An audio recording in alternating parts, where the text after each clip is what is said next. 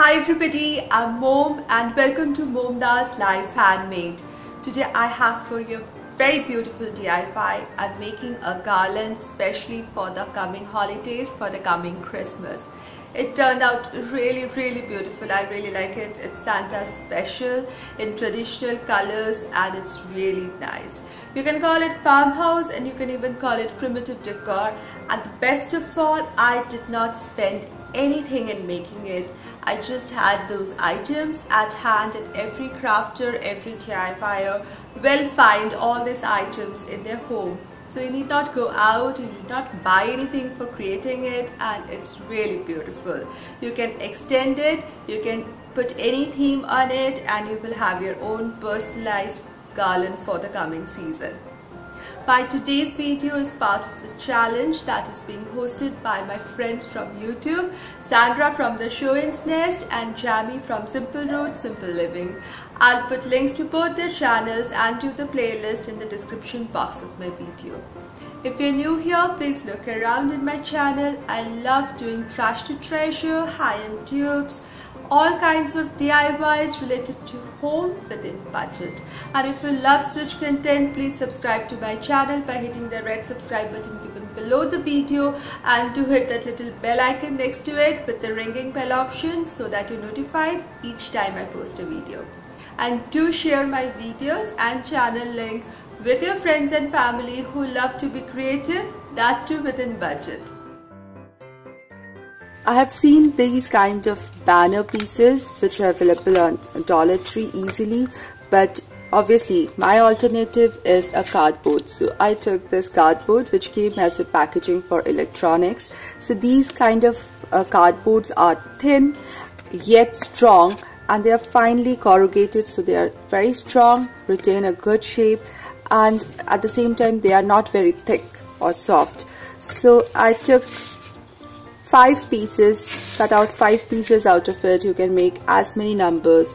They're easy to cut to any shape or size you want. And then I just uh, poked holes through them.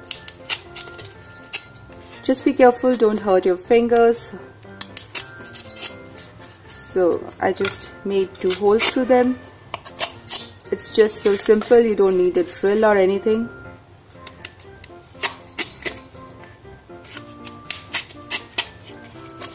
and I have these ready. So any sharp instruments will do. So I have five of these.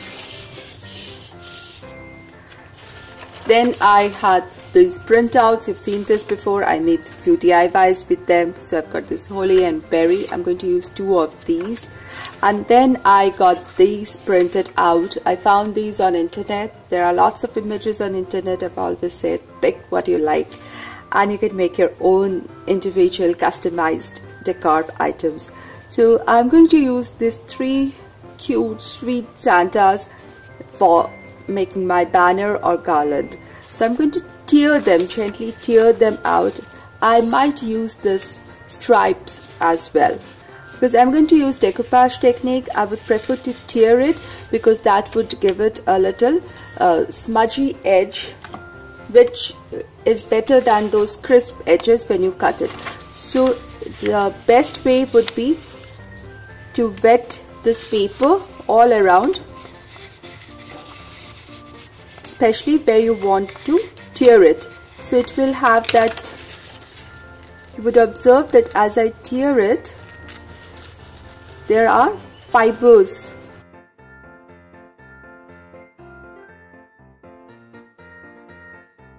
it is not the crisp paper edge now.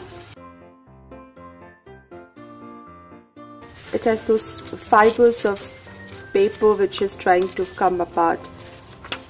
And it merges very well with the surface where you want to decoupage it. So here I have the first one. Similarly I'll take all of them out and I might need to trim it a little depending on if it's coming out of the edge. So let me first tear them all out.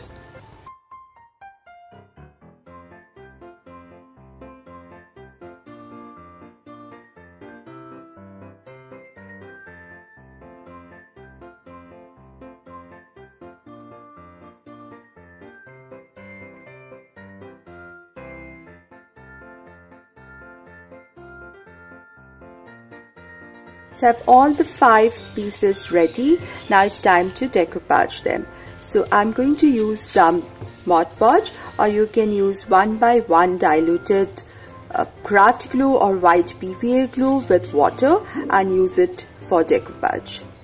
So apply it with a brush. That's the best way to give it a thin look, thin uh, coat and then just place the printout and then press it center outwards.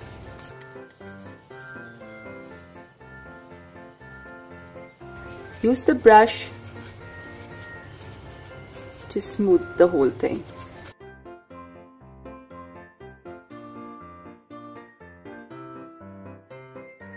So push all the bubbles using the brush and it will become flat and get integrated with the surface.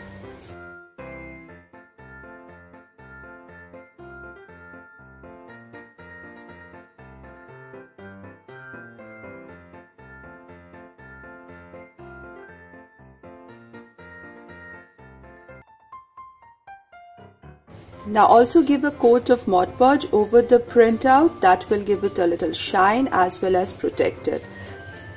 Kind of little bit of waterproofing. So once everything dries, the Mod Podge or the craft glue always dries clear. So don't have to bother about difference of colors or anything like that. Aren't these already looking pretty but kind of uh, vintage beauties? I left the prints, beautiful festive prints against the color of the cardboard. It's really looking nice. Now I'm going to also use this stripes that I've made here. I found them on internet and uh, changed the hue to more reddish kind of uh, stripes and it really looks nice. So I'm going to cut them so that they form little strips over this to give that more festive feel to it. So I'm going to give this red strips on top of it. So I'm going to cut them into pieces, all five pieces and then come back.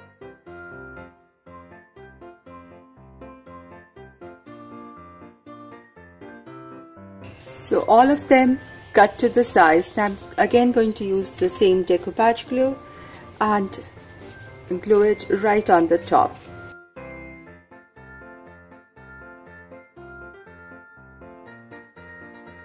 It will give it a more finished look.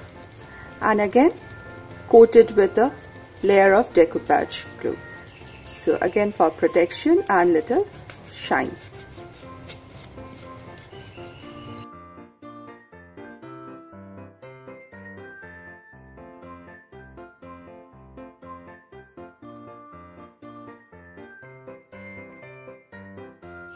they are looking really nice. Now to merge this further with the background I'm just using some white paint and just dabbing it along the edge.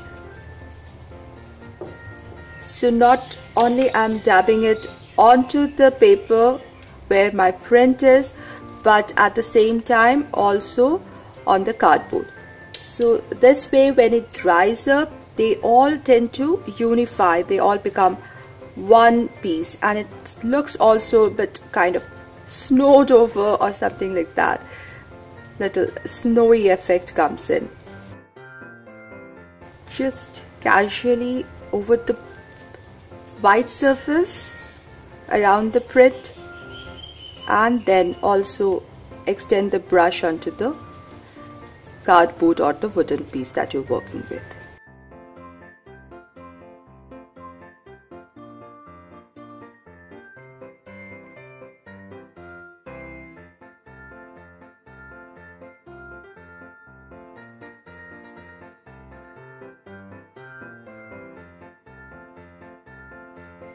Now all the snow effect is done and uh, you can still think that, feel that this piece looks stands out more than the rest of the four pieces. That's because I use some crayons over the edges.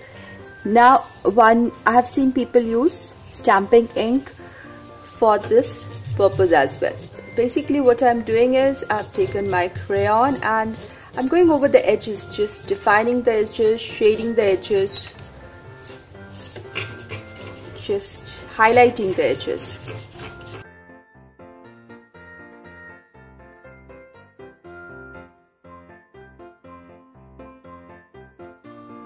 Working with crayons gets much easier, faster and the finish is very good.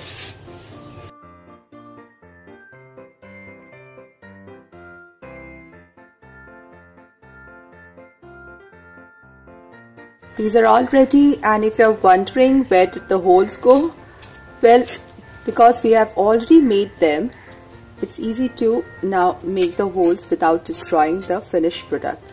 Just uh, use your fingers to guide the owl and the owl will dip where the hole is.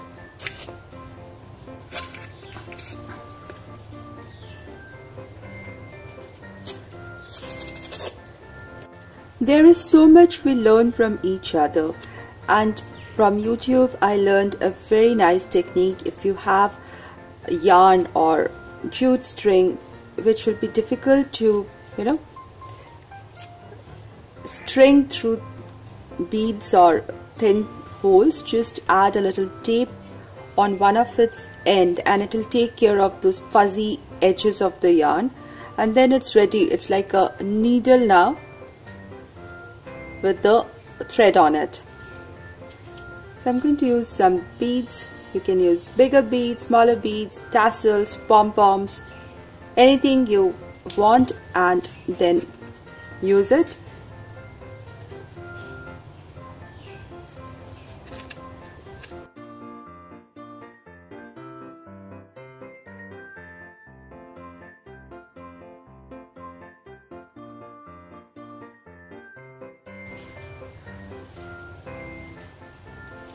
Now this is ready and can be used for decoration.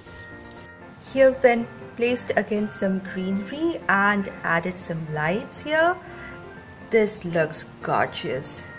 I really like how rich the colors look. It's got that primitive feel, the farmhouse feel, the very festive vibes. I really like it. It's going to look beautiful in the decor. With the greens and the lights, it's just majestic. Do let me know what you think about my today's DIY. If you like this video, please give this video a thumbs up, share this video and write down your comments. If you love my channel, please share my channel link with your friends and family who love to be creative, that too within budget. And I'll see you all very soon in my next video, in my next DIY. Until then, stay positive, be creative and be happy. Thank you everybody.